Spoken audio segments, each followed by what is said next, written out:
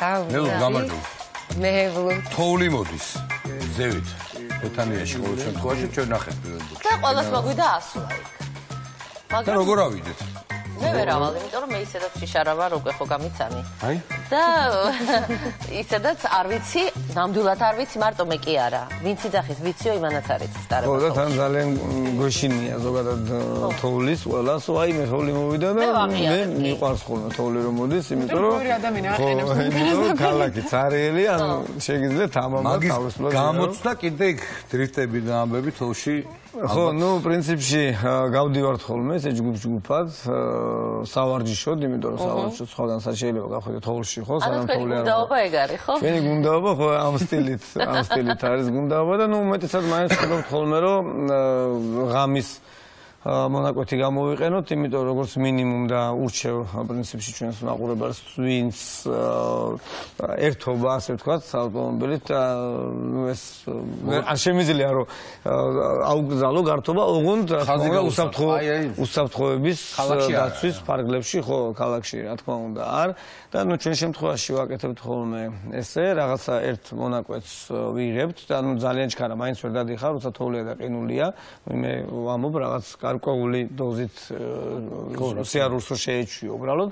ვიყენებთ ხოლმე აგრეთვე რა რაციებს და ნუ ღამე, იმიტომ რომ ნუ ფარებზე მაინც კარგად ჩანს თუ მოდის შემხედრი მანქანა, იქნება პროექტი, მანქანა გადა ქუჩაზე გადავსველი ხო, რო არაფერი არ დაარღვე, ხო, არა, ქუჩაში არ ვამბობ მე ქალაქის შემთხვევაში, როგორც არ უნდა მაღალი დონის მძღოლი იყოს და ყოველთვის მაინც გგონია, რომ ჩვენ შესაძლებლობა უფრო მეტია და სადღაც მთავრდება ეს მეტობა, როცა თავს ტესტავ, სადღაც მთავრდება მთავრდება. მეტობა და ეს მთავრდება ნიშნავს, რომ ძალიან სავალალო შედეგამდე შეიძლება მივიდეთ. ჩვენ და უნებურად. ამიტომ ამიტომ სადაც დასახლებული პუნქტი, სადაც ერთი ადამიანის გავლის შანსი მაინც არის, გამოვიცხოთ ეს э, ყველაფერი გავიდეთ, სწორედ შეიძლება თუნდაც ბეთანიისკენ ავიდეთ э, მშვენიერი თოვლია, გზიდან შეიძლება გადაუხევთ არის დამხმარე გზები, სადაც არავინ არ მოძრაობს და გავტესტოთ ჩვენი ავტომობილის э, შესაძლებლობები. პრინციპში ჩვენი სიუჟეტი სწორედ ესე გავაკეთეთ, ავედით ბეთანიისკენ, ჩაო, როგორ მაინტერესებს. ჩვენი ღუნა და თოვლია. და ხო ვიგუნდავეთ ავტომობილები. საფოდურს ნახოთ. გეტყვი რა. აი ბაია რატო არ წაიყო? შენ გონი მე მანქანაში სადაც ესენი ჩასხდებოდნენ ჩამჯდებოდნენ. აი ბაი ეხა ეგეთები შეარა ხარ. ვარ და არც აფხენია. ვარ. ნახოთ სიუჟეტი და მე ვიმჟელოთ. გაზამთრდა და როგორც იქნა. ხო, თოვლი მოვიდა და ვინაიდან ახლა დედაქალაქის გარეუბანში ვარ და ესე თოვს შესაბამისად თელ მალე საქართველოში. იქნება თოვლი თბილისში. საქართველოში თოვლია, თბილისშიც არის შანსი თოვლი მალე იდოს და ამიტომ მოდი ავხსნათ თოვლში როგორ მოიქცეთ, როგორ მართოთ ავტომობილი და რა ძირითადი პრინციპები არსებობს. რო დავყოთ ორ ძირითად პრინციპად არის ესეთი რაღაც, ანუ ჩვენ გვჭირდება ან განიერი საბურავი იმისთვის რომ გადავადგილდეთ და ავხსნი რატომ ან წვრილი საბურავი რომ იმის რომ გადავადგილდეთ. რა არის ერთი და მეორე შემთხვევა, როდესაც გვჭირდება, ну, ბევრი შემთხვევა შეიძლება იყოს, მაგრამ ძირითადად, როდესაც ჩვენ გვჭირდება რომ ჩავახციოთ მყარ ნიადაგამდე და ამისი მაგალითი პირდაპირ აქვე შეიძლება მოვიყვანოთ, ეს არის ძირს მყარი ნიადაგი, თხელი, ფაფუკი, თოვლი და გვჭირდება რომ ჩავახციოთ მყარ ნიადაგამდე. ჩავახციოთ მყარ ნიადაგამდე და შემდეგ ჩაეჭიდება, ანუ ეს იკითხება, თუ ზირს არის აუშვათ მოყინული, ხაოიანი ნიადაგი, ან მიწის საფართან ახლოს ვართ, გვჭირდება ესეთ საბურავი, შესაბამისად შეიძლება რომ საბურავი გადაუბეროთ, რომ ჩაჭრას ზედა ფენათოვლის და ჩაახციოს მყარ ნიადაგამდე.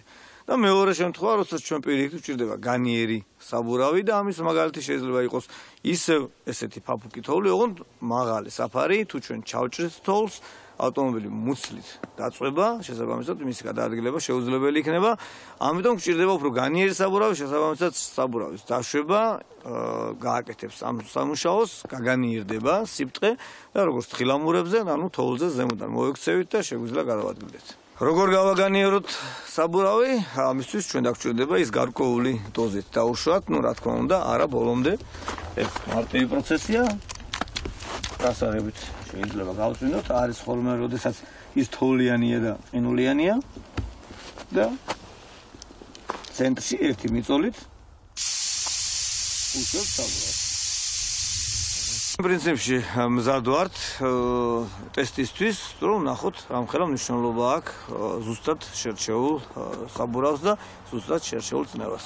პირველი ტესტი გავაკეთოთ 4 წამყვანით აღჭურვილი ავტომობილი, ანუ ამ შემთხვევაში BMW X5-ის მარკის ავტომობილი თუ არ, საკმაოდ მძლავრი ავტომობილი, რომელიც რო აღჭურო 4 ზამთრის საბურავი რა თქმა უნდა შედარებაც არ იქნება ნებისმიერ სხვა ავტომობილთან არა მარტო სინაწამყვანთან, მაგრამ ვინაიდან ის დგას ზაფხულის საბურავებზე, მას ექნება პრობლემები, ჩვენ ნახოთ როგორი პრობლემებია ეს და როგორ გამოიყურება ზაფხულის საბურავი პრინციპში ჩვენ ეს ძალიან კარგად ვიცით და ყველაზე დიდი პრობლემა ამას. ხას უსვავ მიუხედავად იმისა რომ ეს ავტომობილი 4 წამყვანია შეიძლება დავიზრათ და ეს არ არის მაჩვენებელი შეიძლება უფრო კარგად ავჩქარდეთ ვიდრე წინა ან უკანა წამყვანი ავტომობილი არც ეს არ არის მაჩვენებელი მაჩვენებელი არის სწორედ მანევრი. ამ შემთხვევაში მხოლოდ მაინც ორი საბურავი მუშაობს.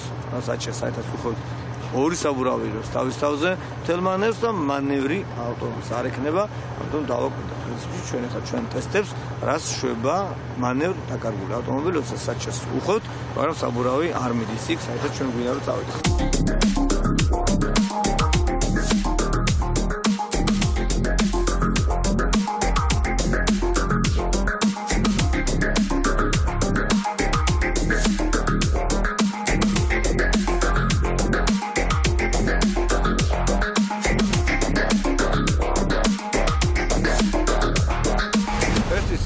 მეორე ნაწილი უკვე ჩვენ ვართ აკლასტრასთან აღჭურვილია საკმაოდ კარგი ზამთრის საბურავებით და აა, ვცადოთ დავეზრათ და დავამოხუჭოთ მოვუხიოთ ანუ როგორი მანევრი ნახოთ, რას იზამს თოვლში. ნახოთ რას იზამს თოვლში ანუ თოვლში მთავარი არის არა ავტომობილი არამედ საბურავი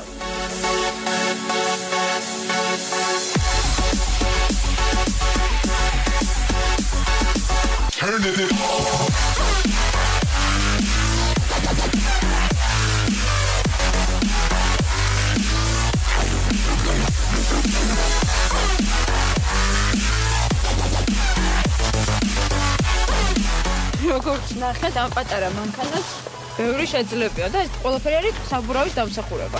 ხო, ну, ეს გასგასმა ცუდია, რომ ჩვენი მაყურებელი ხო ჩვენ თანთან არ იყო და პრინციპში თანაშენ სტუდიაში მოყვებით. აი სტუდიაში ვარც კიდევაც და მოყვებით სტუდიაში.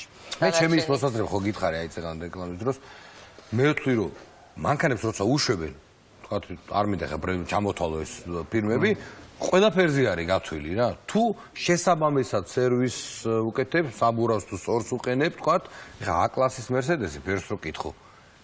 ну, არ ვიცი ხა, სერიოზულად არ ეკიდებიან, მაგრამ შენ შეგიძლია ამ A კლასის Mercedes-ს დახვიდე ოქტაგორის წვერზე, თქვათ. ხო, ну, ეგ არის, ანუ შენი მოსაზრება სავსებით სწორია, სწორედ ახლა სიუჟეტშიც მაგას ვამობდი, რომ შესაბამისი საბურავი პირველი რაც არის, ეს არის მნიშვნელოვანი. ანუ როგორც არ უნდა მაგრამ მართავდეთ ავტომობილს, ხო? თუ შესაბამისობაში ჩაჭიდება თუ არ გვაქვს, რას ვიზამთ, ანუ მანერს ვერც დავიწყებთ, ეს დავასრულებთ რა. თან რამდენჯერ მithქვამს მე რომ მა- მანევრის დროს, ხო, ანუ როცა ჩვენ მართვას კარგავთ, ხო?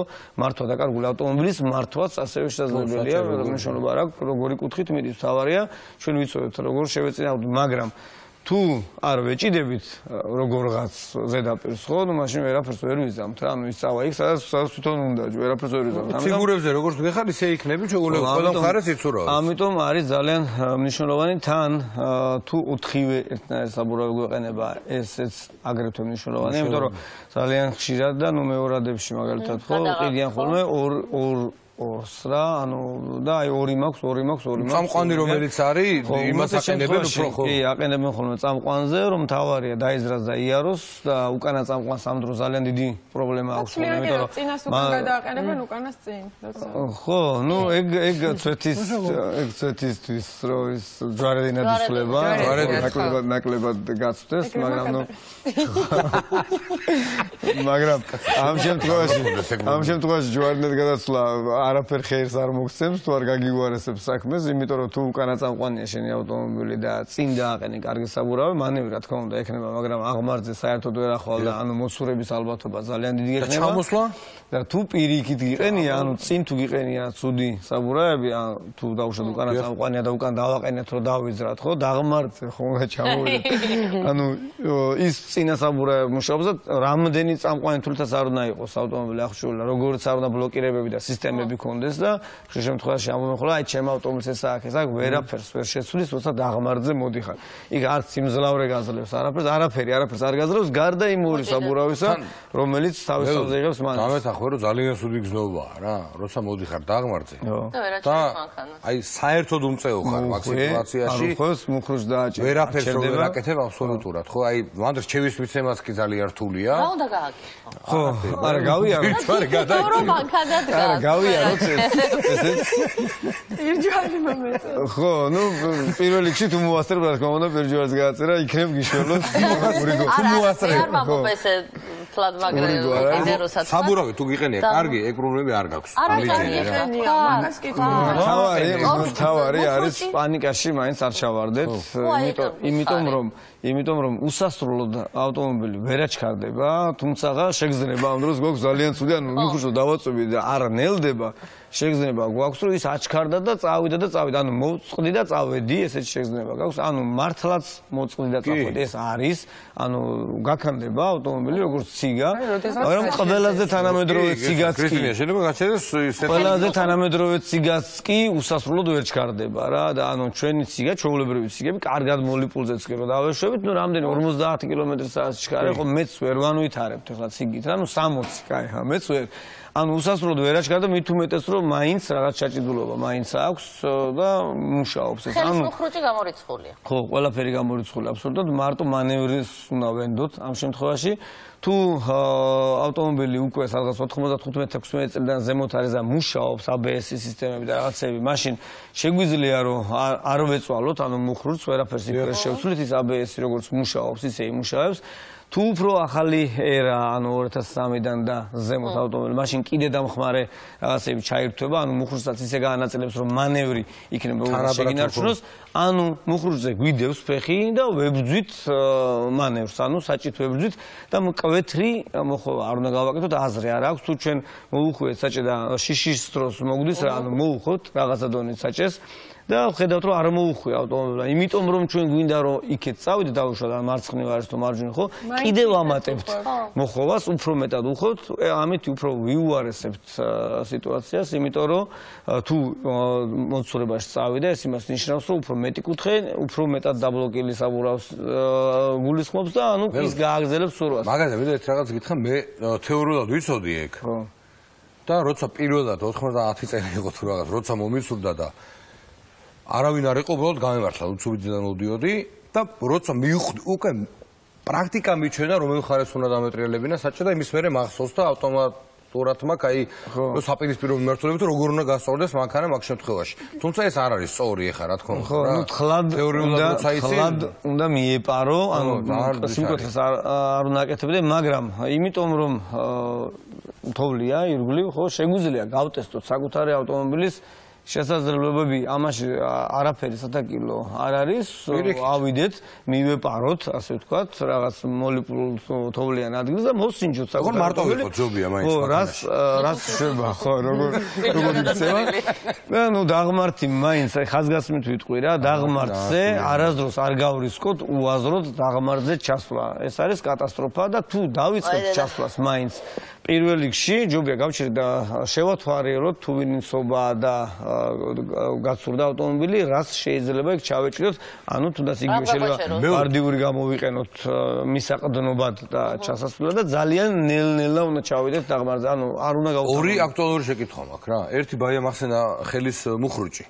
ერთი კითხვა არის ეს, ზამთარში ბევრს ბევრმა იცის ესე, რომ ღამე არ უნდა ამოწიო, იმიტომ რომ ყინავს და მე შეიძლება პრობლემები ქონდეს. ეს ერთი და მეორე კითხვა, მექანიკას და მექანიკურ და ავტომატურ እ, კოლოფ შორის განსხვავება ზამთარში მართვის დროს. აი ეს ორივეზე რომ პასუხი გავცეთ. კარგი, ну, ერთი აა, სწორი შენიშვნაა, რაც შეეხება ხელის მუხრუს, იმიტომ რომ სისტემა აა, მაინც გა- გადაბმულობა მთლიანობაში როგორც არ უნდა თანამედროვე იყოს, როგორც არ უნდა პნევმატურიც არის ზოგი, აღჭურვილი იყოს, მაინც თვითონ ბოლო ნაწილი, რაც უკვე ებჯინება მუხრუჭებს, ხო, იქ გინდა, არ გინდა, იმიტომ რომ თბილია ის მუხრუჭების დროს, იქ ხდება თოვლი ან წყალი და წყლად იქცევა, გინდა წყინული იყოს, წყლად იქცევა. და როდესაც ჩვენ ღამე ვტოვებთ ის წყალი იქცევა მე ყინულად. ანუ იგივე მდგომარეობაში მოჭერილი მდგომარეობაში დატოვებს ამხუჭე სისტემას და ვერაფერს ვერ იზამთ. ან აბსოლუტურად ვერაფერს ანუ არის ხოლმე ესეთი ვერსია რომ ცოტა იქნება როგორღაც დავაძალო დავიძრა და მე გათვება და გადნება ვერ გათვება და ვერ გადნება იმიტომ რომ მიჭერს მიწევს ღამე გაჩერება ავტომობილის რომ სადაც არის ჩამოგორების საშიშროება რა ვქნა არ დავტოვა ეს. არა მაინც რამე თუ მაშინ უნდა უნდა წინასწარვე თან უნდა გედო საბარგულში. გონს, იმიტომ რომ იქ რო ვერი პო ადგილზე ხო არივლი ახლა. ჩვენ ყავს თანამშრომელი, ვისაც ქვები უდევს ხოლმე საბარგულში მე რეგეთ. ხო, წინასწარვე, წინასწარვე უნდა იცოდე, რომ შეიძლება გაგიყინოს სისტემა და დარჩე იქ, ანუ სადაც დატოვა, ანუ ამის მზად უნდა იყო. ან უნდა ეცადო, რომ ისე გააჩერო ხელის მუხრუჭი არ გამოიყენო. მაგას ვერ შევეცი, რაღაც იმდენად ის არის, გამჯდარია უკვე. ხო, გამჯდარი არის, მაგრამ ნუ ხელის მუხრუჭი? არასოდეს არ ვარ. შენ არა? ხო, ძალიან ცუდი არ იყენებ, ძალიან ცუდი. მინდა ყოველას უთხრა რომ ხელის მუხრუჭი აუცილებლად გამოვიყენოთ ეს ძალიან საჭირო ინსტრუმენტია იმიტომ რომ შეიძლება სიჩქარეში ხო. დატოვებ. ყოველთვის როცა ავტომობილს ვაჩერებთ ხელის მუხრუჭს და აღმართზე დავძვრის დროს არ ეგ შორს არ არსებობს გავჩერე და არ ამოუწია მექანიკა და ავტომატიკაზე ეგ ძალიან ბევრს ავტომატი ზოგადად უფრო კარგი სატარებელია თოვლში და კომფორტულზე და მით უმეტეს სწორ გზაზე თუ დავდივართ და აღმართზე დავდივართ, მაგრამ უფრო მეტი პრობლემა აქვს უბრალოდ აღმართზე ჩავდივართ და სწორედ ამისთვის არის იქ რაღაც მითითებები, ანუ ავტომატურ კოლოფს რო დავხედავთ, იქ არის დაბალი სიჩქარეებში გადმოსატანი და ხშირ შემთხვევაში არც იცის მომხმარებელმა ავტომობილის რო ეს რატოა ის და არც იყენებს რა მარტო დე და ვსო წავიდა და მორჩა და იქ რაღაც ღილაკები შეიძლება გამოიყენოს. ყველაზე დაბალ სიჩქარეში გადმოგვაქვს როდესაც დაღმართზე ჩავდივართ ავტომატურ კოლოფს ყველაზე დაბალი სიჩქარე რომელიცი აღინიშნება? გააჩნია იქ შეიძლება ლუ ალბათ ხო არა ლუ ყველას არა არა აქვს ხო ექნება შეიძლება ორი ორიანი ეწერება ან ერთი შეიძლება. იწყებოდეს ხო შეიძლება ერთიანი იწყებოდეს ან ნუ ყველას დაბალი თვითონ რამდენიც გადმოვა. ხო რიჩაგი ნუ იქ რა ინდექსი იქნება რა თუ აქვს ლოუ ეს იმას ნიშნავს რომ გაძლიერება აქვს დამატებით ორხიდან ავტომობილებს ხო აქვს კიდე დამატებით რიჩაგი ან ღილაკი რომელიც ხელის მექანიკაზე ხელის გადაცართველი ყველაზე ესეთია ხო ეფექტური ბლოკირება ალბათ ხო ну რა თქმა უნდა თუ კარგად ვიცით ავტომობილი ჯობია რომ მექანიკური იყოს ყველაფერი იმიტომ რომ ჩვენ თვითონ მართავთ ისე როგორც გვინდა და შესაბამისობაში მოყავს ყველაფერი მაგრამ ну იმიტომ რომ უფრო კომფორტულია მაინც ავტომატი ხშირია ძალიან ავტომობილები რომელიც ავტომატური კოლოფით არის ახშურ მით უმეტეს თანამედროვე ავტომობილი რომელიც ელექტრონულად იცავს კიდე. კარგი, ხო კიდე მოყინულ აღმართზე რომ ჩამიქრეს ის მექანიკა ეგ გამაკლია და დაამქორდა და მექანიკასაც შეეხება, არ არსებობს რომ არ ვახსენოთ ტაქსის ტაქსის მძღოლების ილეთი, ასე ვთქვათ, ძალიან ხშირად გამოსტილი ტაქსის მძღოლები ამბობენ ხოლმე და იმიტომ დავარქვით ესე ტაქსის მძღოლების ილეთი. ამბობენ ხოლმე, უბნებიან, აი ვიღაც ბუქსაობს, ხო? უაზროდ ბუქსაობს, ესე ვიტყვი, იმიტომ რომ მაღალი გაზ ბუქსაობას აზრი არ აქვს. არა, პროგრამა ჩადიხარ. თუმცა არის შემთხვევები, როცა ეს ილეთი შეიძლება გამოიყენო, ტაქსის მძღოლები უბნებიან ხოლმე მეორე მიეცი, მეორე მიეცი, ანუ ეს ძალიან ისეთ გავრცელებული თემა და რატო ეს? იმიტომ რომ ნაკლები ძალა დაადგეს საბურავს, ანუ როცა ავტომობილის ძალა ნაკლები ექნება, მოცურების, ანუ დაბუქსაების ალბათობა უფრო ნაკლებია ამ შემთხვევაში და ხშირ შემთხვევაში შეიძლება დავიზრათ კიდევაც მეორე სიჩქარით, ანუ მივეპაროთ, ასე ვთქვათ, რომ ბუქსაობა არ დაიწყოს. საბურავმა და ნუ გავაგზავნოთ რბილია გადასვლა. ანუ ჩვენ რაც უნდა რაც უნდა მეტი მივცეთ გაზი ხო? ვერ მიაქვს ამდენი ენერგია საბურავამდე ავტომობილს და შესაბამისად ძალიან ნელად და თხლად მიიპარება. სამწუხაროდ დამდასრულდა. თუ არა და ნერგები ჩაუდეთ და ხო, ნუ მაროდინელი ფილმია და ბევრი რამე შეიძლება. ხო, მაგრამ როგორც წესი სულ ამბობენ ხომ რა იქ თავიდან ქადა მივიდივარ და ყოველთვის ვიღაცა უნდა იჯდეს, იმიტომ რომ შეიძლება მიწოლა და რაღაცა იმითი მაგის იმეთია რომ ვიღაცა მოგვაწეს თუმცა მე მახსოვს მთელი ჩემი ბავშვობა რომ ჟინვალის გზაზე როდესაც სოფელში მივიდოდა ეს წყობაც იყო მანქანები რომლებიც ვერ მიდოდა ყველა ერთმანეთს ეხმარებოდა. გარედან ძალას პრინციპში ეს თემა მე მგონი იმხელა რომ შეიძლება ერთი გადაცემა ამ თემას მე კიდე მოვასწრებ ჩვენ. ხრიკები ავხსნათ აი ეს წულწული ხრიკები სხვადასხვა სიტუაციაში. კარგი. ძალიან დიდი მადლობა ძალიან საინტერესო საუბრისთვის. ჩვენ რეკლამაზე უნდა გავიდეთ. მე უნდა ვივარჯიშ. დააბრუნდებით კლავ ეთერში